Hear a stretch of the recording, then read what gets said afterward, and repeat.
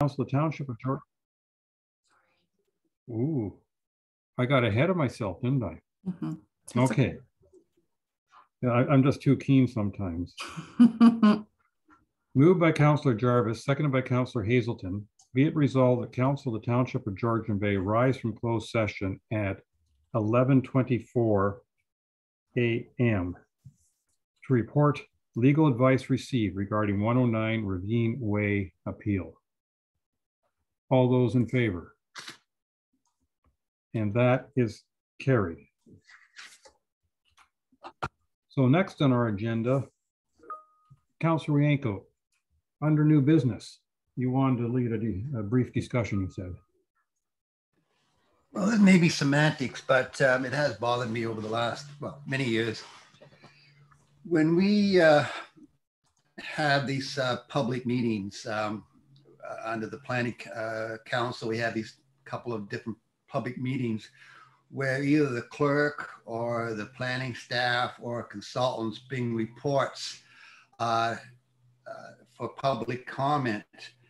Quite often those reports within them, either down near the bottom under under comments or dis- discussion or whatever, there's some kind of a recommendation uh, that uh, the authors are, are recommending approval of the application. And to me, that is kind of having the, the cart ahead of the horse because really, uh, how can we make a recommendation when we haven't heard from the public? or we haven't heard from council. And so it's kind of hard to change a recommendation where you say, okay, well, before the public meeting, we recommended uh, approval. And that is not going to really change when the final report comes out, no matter what the public says. So it kind of sets us up already. If council disagrees with uh, uh, the, the recommendation, then pretty well we're already set up for an OLT uh, uh, hearing because the town just approved, you know, recommending it. So I'm just wondering, do we really need to have a recommendation uh, on these applications uh, prior to uh, hearing from the public or uh, or council? Um, that's my that's my position. I'm just wondering if we can have a little discussion on that. I don't know whether people would. would... Ms. Boudiette, did you want to comment now that you, or are you just appearing to be to appear to be part of the discussion. Through your worship, I am appearing to listen, uh, but I would I have a few words um, after the discussion on on this matter. Okay. Councillor Cooper, followed by Councillor Bocek. Thank you, Mayor Koetsier, and uh, thank you, Councillor Wiancko, for raising this matter. Um, I am very concerned about very much the same thing, and and uh, I think you've uh, brought this forward. We've talked about this a few times in the last year or so, briefly. Uh, but I, th I think there's some other information that we need to remember or get to, and that is that uh, if you look at the results at OLT, we've had very little success at OLT if council or the committee of adjustment has gone against the recommendation. Um, and that's been pretty consistent. That's the first point. The second point is that uh, if you look at the last 10, 15 years of OLT, we had a period, um, I think around 2012 to 2014 or something like that, somewhere in that neighborhood, where we gave direction to staff that uh, there were not to be any more recommendations um, council did at the time. I was not on council. You probably were. Um, and uh, the what happened was it's quite clear um, when we stopped uh, the recommendations, our OLT appeals went right down. Um, and then two years later, we snapped back to making recommendations, and the OLT appeals went through the roof again. So um, it's a very costly process that is, and, and we've been setting uh, on a per capita basis, on a dwelling basis, records uh, in terms of the number of OLT appeals that we have in this township. And one of the ways to get around that appears from uh, historical information that it makes some sense uh, to not have recommendations and, and let uh, uh, the public speak, let the council speak, and, and then come to a conclusion and decision. So those are my thoughts on it. Thank you. Thank you. Councillor Bochuk. Yeah, we have talked about this before and we made a little bit of headway with it. And then um, things have seemed to reverted back. Now, I don't know what the Planning Act says about um, bringing a report forward where you either oppose or, or you support the application.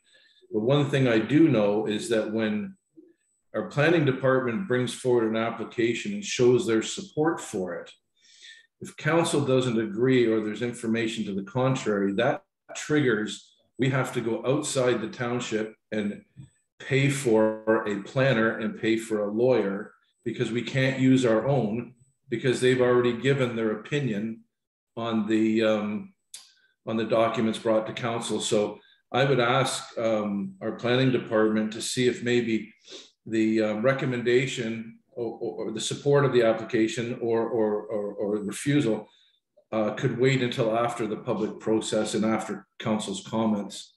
Um, and then there could be another step where the planning department approves it. But that all is based on planning law. My concern is the dollars we spend on planners and lawyers at the uh, tribu tribunals because we can't use our own because of a statement that was made. Thank you. I, I, I'm finding myself in two camps here, but I think I, I, I want to make a distinction, at least in, in, in my initial thoughts. One is when we're doing a public meeting where we're encouraging public input, it's not uncommon for us to defer that decision based on input received. And I think that if if the planning staff made a recommendation of approval and then based on all the input received, I think that definitely gives planning staff an option to change their recommendation when they come back with their subsequent re report. Um, and I, I, I guess I, I find myself torn because on the one hand, I want to know what the professional planners think of the application. I want them to do their analysis of how it fits in or doesn't fit into the zoning bylaw or the official plan and the district plans and the, and the provincial regulations and all that stuff. I, I, want our, our planning staff to present those arguments. And I find myself wondering if they present their arguments, which they say, well, we believe that it meets this condition or that part because of section this and or, or bylaw that, even if they don't say in the very last sentence, therefore we recommend approval, if during the body of the report they say, in their opinion, this is all good, it's almost, I don't want to call it redundant. Uh, I'd rather call it, it's, it's convenient that they, they come to a conclusion for us. Um, and I think that it behooves us as council that if we disagree with their decision to come up with good arguments. Um, but, but at the same time, I, I, I fully acknowledge the extra challenge we have when council has um, a different opinion. And I, I find myself wanting whenever council responds differently than what the professional staff would recommend, that I think we should automatically, and I don't, we don't do it now, it's the best, we know, I think we should automatically get from uh, our staff a recommendation as to what we need to change in our bylaws if we don't want them recommending uh, the item that they recommended approval and we disagreed. And they might just say, well, our, our, our bylaws are not clear on the fact that, you know, three story cottages are unacceptable. I'm making one up as I go along here, but you know, it, it's because I think sometimes we tend to suggest that planning staff doesn't get what we want to do, but planning staff are stuck with the bylaws we've given them. And I think what we need more is it, when we disagree or see things differently, we need the recommendations. Okay, what, what is the hole in our bylaws that need to be plugged? Anyway, just some of my thoughts. Councilor Wiancko. And I, I understand what you're saying, but really what it comes down to is usually one sentence at the bottom of, of the report, and it could be under uh, discussion or comments or whatever. It's usually just one sentence, and usually the very last sentence that I'm suggesting be uh, left off until the final report comes. Obviously, when the final report comes, we want to know what, where, the, where the planning staff or the clerk or whatever stand on the issue. But um, I'm just suggesting maybe that one sentence be left off. The report can be as positive, they you know, as positive as as uh, uh, they want to be. And I think by reading the report itself, you, you kind of know where they stand. And so I'm just suggesting that maybe that one one sentence be left out with the recommendation because there may be something that the public comes up with, or there may be something that council comes up with the planning staff hadn't thought about, and then they then they can change their mind uh, easier. But once they make a suggestion, I've never seen a report come back where they've actually changed their mind. You know, my memory may be a little lacking, but I can't re- I can't recall something that's ever come back to us in the, in the council. I mean, the planning department has changed their mind based on a previous recommendation. So I'm just su- suggesting that one sentence be left out, and uh, uh, the planning can, planning can say whatever they want in the report. We'll understand where they're going, but the final the final decision is not made till we get the final report. Hmm. Hmm. Council Jarvis. Yeah, I'm finding myself in agreement with statements made by uh, Councilor Wiancko and Cooper on this, and uh, an agreement, and not because of anything the planning department is or isn't doing, but more because of the way the OLT seems to operate. And we've already stated clearly that we would prefer not to have to deal with an OLT at all. Um, so I think we all have clear views on what we think of the OLT. So I think in a in a manner of exactly as Councilor Wiancko stated, let's not give the OLT any ammunition. Let's leave it uh, without the statement. I think right now, from what I'm seeing through our planning department, there's enough screening going on in the pre uh, the pre-planning process. I think a lot of people that we might have seen in the past coming forward with applications, we're not seeing, which is, is which is a good thing.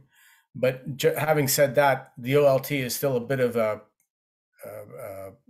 an issue for us. And I think that if we provide less ammunition for them to work with, the better off we will all be. And so in that way, I, I agree with the Paul Wiancko's, uh, Councilor Wiancko's statements there about that, uh, that one line. Thank you. Councilor Hazelton. I'm just going to pile on and uh, agree that uh, we have a problem here. You've probably heard me talk about it before, so I'll just be brief here. Um, no recommendations uh, prior to the final uh, review. And um, I think we should uh, implement a post-mortem whenever we have a planning department recommendation and a council or committee of adjustment denial where that post-mortem digs into immediately where the gaps were. And this is essentially what you, Mayor, were, were talking about why what is it that planning needs to see things differently or conclude things differently to align with council and committee of adjustment uh, decisions? Uh, so that gap has to be closed.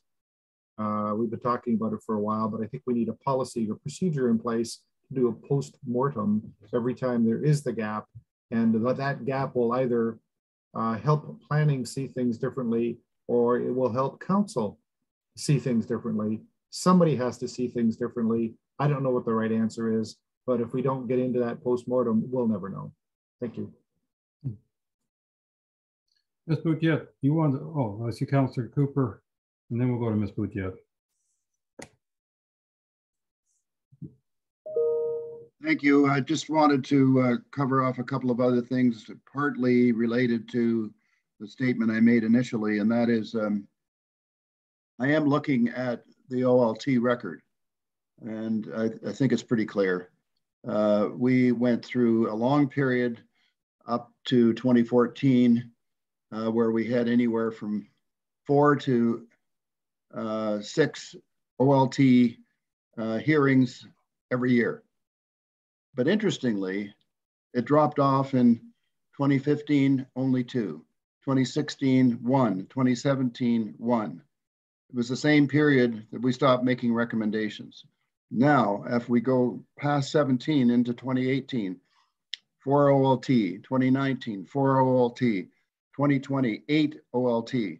So all I'm trying to say here is that the record speaks for itself. And, and uh, yes, we may have some issues with uh, the wordings of our bylaws, but it's, I, I have to say from some of the things that I've experienced over the last seven and a half years and, and studying it prior to that, there were attempts to um, say that our bylaws weren't strong enough. And uh, that may be true occasionally, but uh, often it was an excuse. It was a red herring.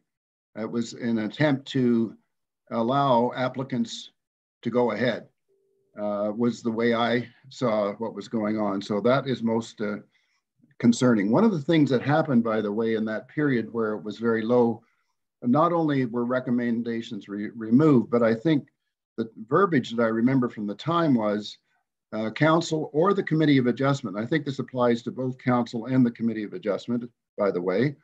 Uh, the verbiage was uh, something along the lines you, you, your, your, this body can either approve or deny or defer. And those were the words that were used and no recommendation. It's up to you, this body, to make that decision. And I think that applies not only from an initial report, public meeting, but even the second report. You've got a body that's making a decision, let them make the decision. So those are my other thoughts in terms of uh, around this subject. Thank you. Ms. Bouthia. Through your worship, I've, I'm uh, in the process of crafting a, a motion here. Um, first and foremost, in the future, can you please give a heads up when you're going to bring a new matter forward so that we could prepare this in advance? Um, but I hear you, council, and I hear uh, what your concerns are. And um, I am just in the midst of, of uh, finishing up this motion to be uh, so that staff could have formal direction based on this conversation. So. Well, why don't we see whether Dr. Spilla has anything to say to give you a few more minutes? How's that? Dr. Spilla, you've heard the concerns and the, and the ideas. Your response. Well, thank you, Mayor Koetsier. Uh, I do have a few thoughts on this, and I think I think it's really up to what council is really seeking to achieve here. And I guess there's an old saying: you can have things good, fast, or cheap. And um, basically, I, have I've heard all of those arguments.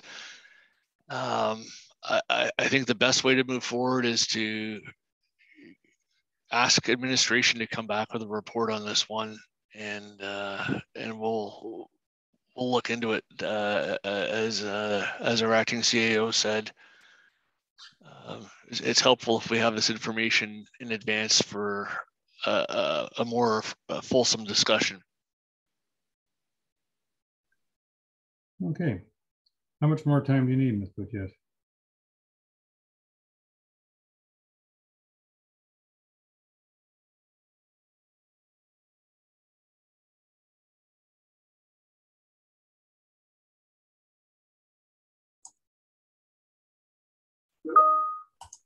Just hopefully, we're coming back at meeting at one o'clock anyway. Why don't we wait till then? Well, that, that'll be our next decision when we're coming back. I think we're ready with a draft. Okay. Please share.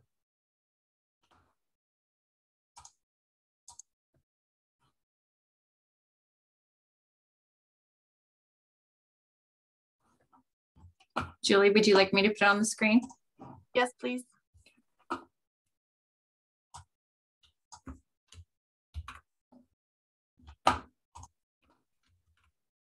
And yes, I I uh, I prefer your therefore, and I just added a last that.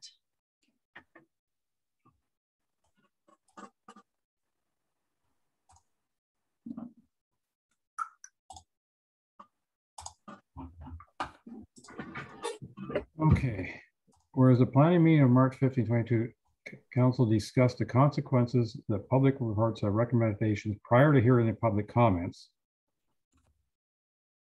Therefore, be it resolved that council requests staff to bring forward a report on the options that could be used in lieu of a recommendation, or even that the recommendation be brought forward subsequent to public meetings, and that council direct staff to draft a re- separate report that will propose how staff can track the differences between council's views of planning policies and changes that would be required to line up intent with the policy. All right. Hopefully, we won't get into an hour's worth of resolution crafting, but I think this is capturing what we're talking about is that, the- at least the, the initial reports will give us options as opposed to a recommendation.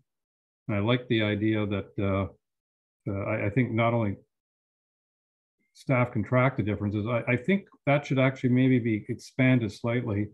Um, um, what did uh, Councilor Hazelton call it, a post-mortem?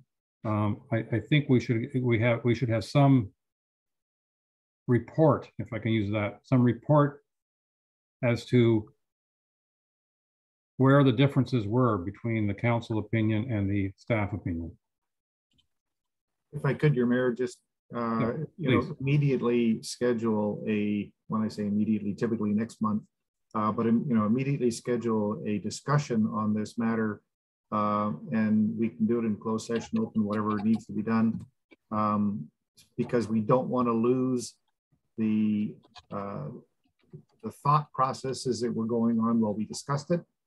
Um, and that's essentially what a postmortem is. It's a, it's an open discussion where you can discuss it. Uh, and I think that um, uh, we also uh, should in, uh, should uh, request that planning um, provide specific insights on what might be different um, or what might need to be different in order to uh, get consensus. Hmm. Ms. Boutier, Uh, through your worship, before I send staff uh, down a pigeonhole, um,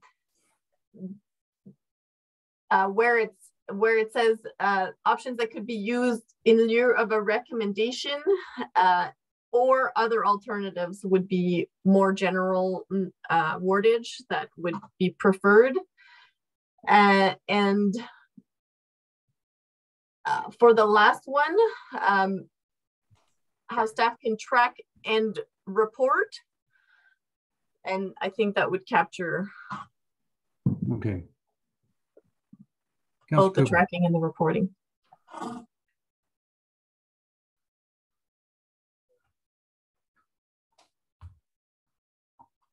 Are you acknowledging me, Mayor? Yes, I was.